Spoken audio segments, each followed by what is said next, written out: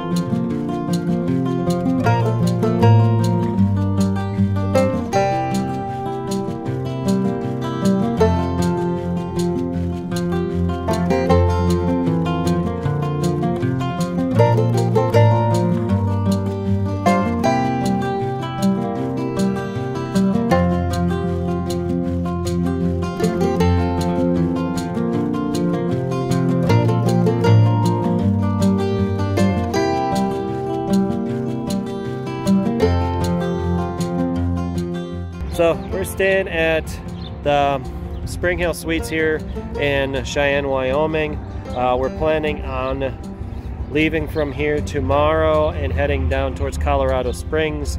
We're still going to debate about where we're going to spend the night, whether we're going to go on all the way down to New Mexico or if we're going to stay in uh, southern Colorado. It just depends on how our plans work out a lot of this is added on kind of spontaneously. Originally, we were going to spend our night in Nebraska down at the southern region and go through Kansas. So it's not a bad room. It's a little small, but it's decently comfortable. Don't, yeah, just for one night. So now we just got to deliberate and figure out what where, where we're going to stay tomorrow night. so it should be exciting.